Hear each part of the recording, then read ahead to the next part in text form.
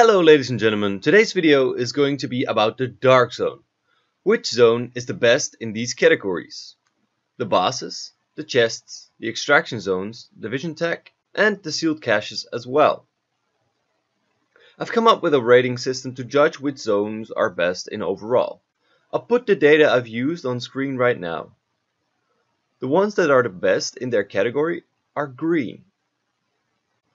The conclusion of this data is that the new zones 7 through 9 are the best place to be.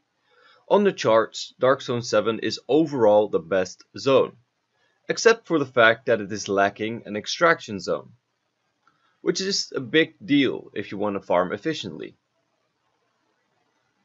Dark Zone 7 won in three categories, Dark Zone chests, bosses, and division tech. Dark Zone 8 and 9 are overall decent zones, so if you're able to sustain these zones, a farming route from 6 through 9 is definitely the best route to take. I will draw out this route in a bit, but first for those who can't sustain through these high level zones.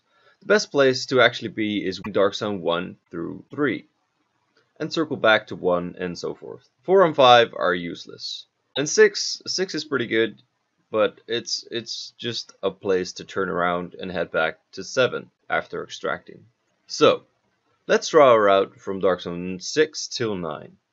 This is going to be very rough estimate of what it would be, not considering too many Dark Zone keys in the pocket and so forth. So you can start this route in pretty much any Dark Zone from 6 through 9, uh, except for 8. So 6, 7 or 9 is a good place to start.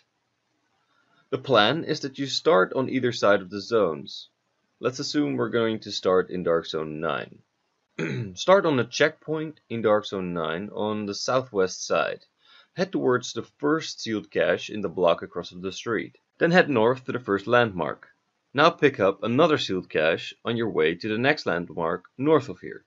Then head east to that landmark and extract. Depending on the amount of keys you have, Dark Zone keys, you could have extracted earlier. If you did do this, then you can actually extract once again before heading into the underground, which is the next step.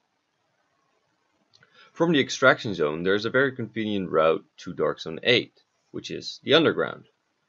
Following the train track until you reach the extraction zone in Dark Zone 8, since you've crossed so many landmarks on your way there, you should be filled up and good to go on another extraction. Once you've completed the extraction, head to the first landmark in Dark Zone 7 on the northeast side. From there on, pick up a sealed cache along the way and head to the landmark right next to it. Then make your way towards the extraction zone in Dark Zone 6. Along the way, you'll be able to pick up another landmark and a sealed cache. So, after extracting, I'd advise to go to a checkpoint with a storage, since after this route, your storage is full. Clear it and you can start again in Dark Zone 9, or find another place to start. This route is very easy to change up. Since there's so many ways to clear in Dark Zone 7, you could even just do the Opera and then head back to the Dark Zone in uh, Extraction Zone in Dark Zone 6, since the Opera should give you a full inventory straight away. However, the, the Underground to Dark Zone 8 is a really good way to move along. And a very good crossover from Dark Zone 7 to 9, since other than the underground route, there's not much to do in Dark Zone 8. Alright.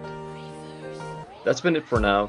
I hope you guys found this video very helpful. I've linked the maps with all the points of interest marked on it in the description. And the data on how much there is to find in each zone will be linked there as well. It's been What's Up on the Mastermind channel.